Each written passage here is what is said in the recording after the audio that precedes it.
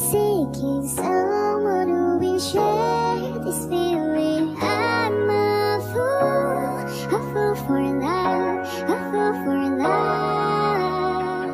I gave a second chance to